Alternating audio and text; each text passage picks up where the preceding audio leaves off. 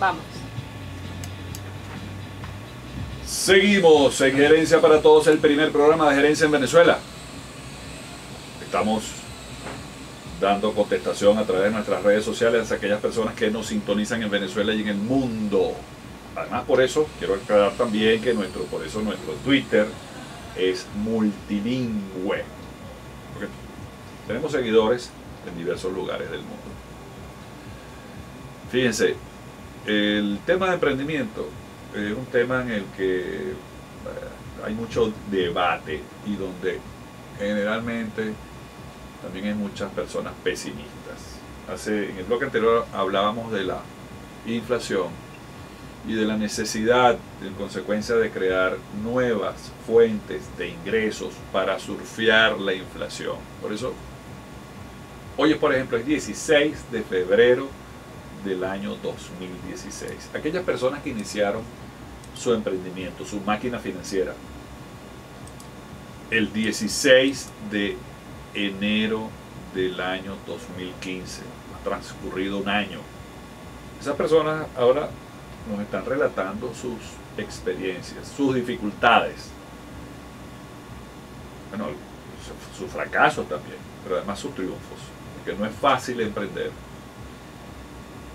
Pero estamos seguros, por las experiencias que recogemos, que todos estos emprendedores han, han tenido lecciones importantísimas y que además van a continuar emprendiendo.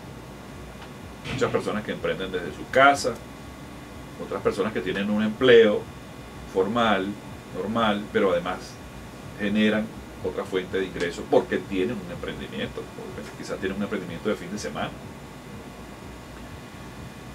Eh, particularmente tengo una amiga que, por ejemplo, este, hizo un curso para hacer esculturas. Y ella ha realizado unos juegos de ajedrez que realmente son una belleza. Y es posible que ella deje su trabajo formal para dedicarse de lleno a este emprendimiento, porque ha tenido mucho éxito. Entonces ha hecho piezas de ajedrez en madera,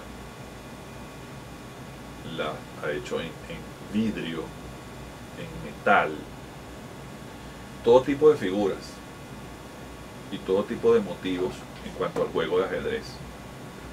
Inclusive hizo un juego de ajedrez este, con figuras sexuales. Me pareció muy interesante, muy bello el juego.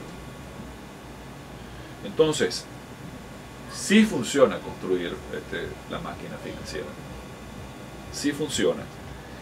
Por eso queremos hablar también del tema de la psicología emprendedora. Porque hay muchas personas que tienen habilidades, tienen la técnica, tienen los instrumentos para ser emprendedores, pero no tienen el ser mental adecuado. Están acostumbrados, por ejemplo, y con todo respeto lo digo, a ser dirigidos. Eh, prefieren eh, la, quizás prefieren la rutina.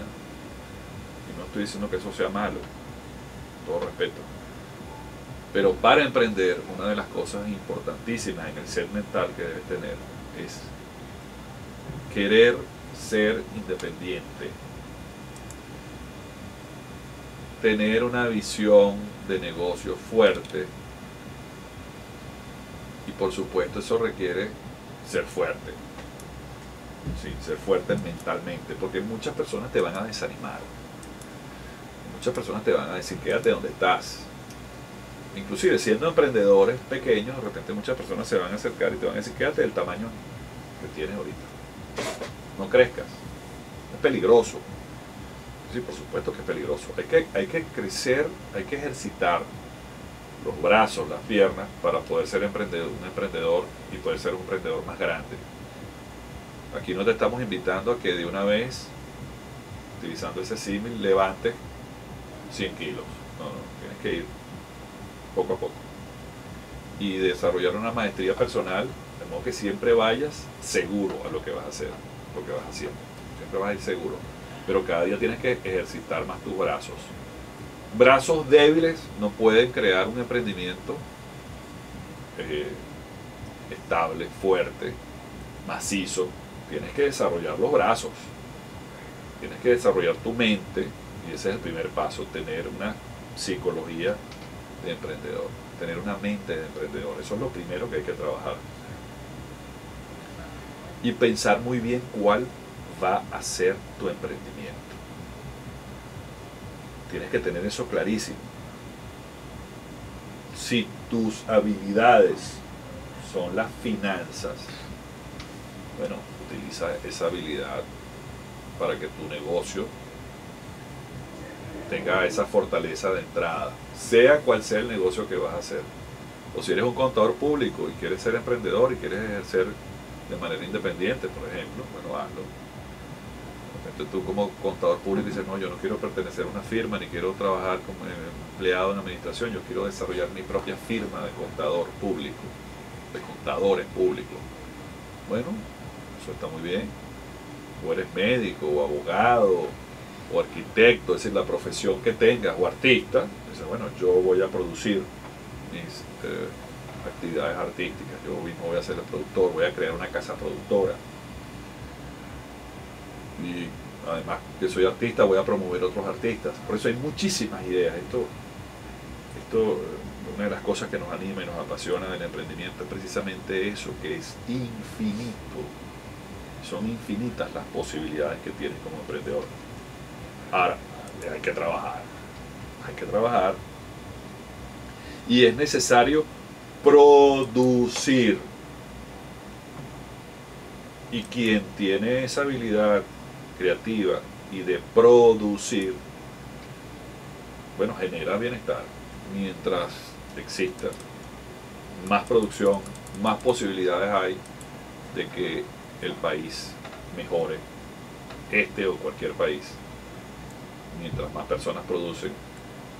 Ahora, mientras más personas piden, pero no producen, muy difícil. Hay que producir, todos tenemos que producir.